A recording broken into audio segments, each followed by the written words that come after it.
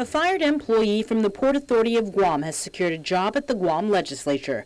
Bernadette Stern Meno was one of several employees terminated at the port as a result of an investigation into alleged workmen's compensation and annual leave discrepancies. Several top managers were fired accused of processing alleged illegal benefits for Meno, who said she slipped and fell in the port bathroom and needed to go off island for surgery.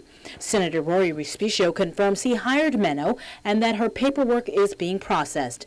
In an email to KUAM, the majority leader says Meno has a wealth of experience having worked in both the Guam legislature as chief of staff to former Senator Felix Camacho and then as his director of communication at Adelup.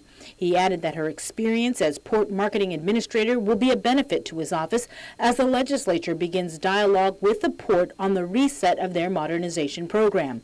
As reported, the fired port employees believe their terminations were politically motivated. Senator Respicio believes they were targeted politically and were all unjustly terminated. The governor, along with the port's legal counsel, Mike Phillips, who is also a former chair of the Democratic Party of Guam, refutes those allegations. The port's investigation into the allegations of fraud had been forwarded to the AG's office as well as to the U.S. Attorney's office. Meanwhile, the other fired port employees, including Meno, Port Personnel Specialist Francis Areola, Service Administrator Francine Rocho, Corporate Services Manager Vivian Leon, Controller Jojo Guevara, and Program Coordinator Josette Havalosa, have filed an appeal to their terminations to the Civil Service Commission.